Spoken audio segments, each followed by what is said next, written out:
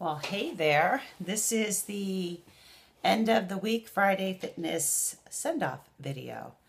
Um, I don't know about you, but I have had a crazy busy week and I just finished up one of my fitness certification tests and I passed. Woo! I'm so excited. Boy, I haven't taken a test in 30 years since college. So I was a little bit stressed about it. A um, couple things I want to talk to you about. The appointment setting program will be online by Sunday, and I'll put the link on the Facebook page, and I'll also send it out to you in an email. I'm just a bit behind because I've been studying and really focused on finishing up this certification because I've got another one right behind it.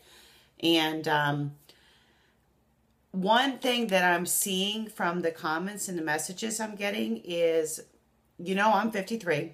I'll be 54 this year. And for those of you that don't know, I had a hysterectomy about I want to say 16 months ago, almost almost a year and a half ago, I think. It was the December 2013. So yeah, we're going on a year and a half. Um, my weight is back off. I had, I was loaded with fibroid tumors. So I look like I was literally six months pregnant. Um, the weight is off, but I am still dealing with the lower ab issue uh, because they cut me from one hip to the other. And I don't know how many of you have had a hysterectomy that that happened. They couldn't do the, do it lapros, lapros, anyways, they couldn't do the three little incisions. I'm so tired. I'm not even going to attempt to say that word right now. You know what I'm talking about. Um, where they do the three incisions and they just pull it out. That wasn't happening. That was what they tried to do, but my uterus was so enlarged and so full of fibroid tumors that it just wasn't happening. Anyways, the moral of the story is it's going on 18 months for me. Yes, my weight is back down. No, my lower abs are not where they're supposed to be. Well, actually, let me say not where they're supposed to be. Not where I personally want them to be. And over 40, you know, late 30s, over 40s, you start dealing with the hormones and the transitions. And this is my dog coming in to see me. You can't see him, but it's Pongo, my Dalmatian.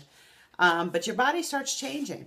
And what thing I want to tell you right now is before you get upset about your stomach or your butt or your legs or whatever it may be, how do you feel? Okay, I feel amazing. You see, fitness is not just about the package. It's not about what you see here. Fitness is overall. How do you feel? How healthy are you? I feel amazing. You know, going into my mid 50s, I'm going to start training for another triathlon the end of summer. Coach Becky is getting ready to do a bodybuilding competition. 20 years after her last one.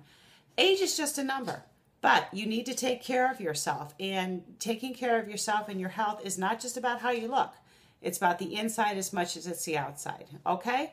So keep that in mind as you go into the weekend. And I'm going to give you the reminders. Eat clean, which means eat real food. Try to stay on track at 70 to 80% of the weekend. It gives you some wiggle room.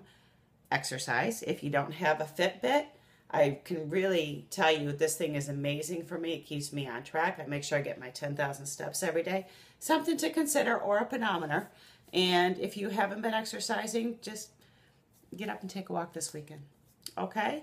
Um, like I said, the appointment schedule schedule program will be on by the weekend, by Sunday.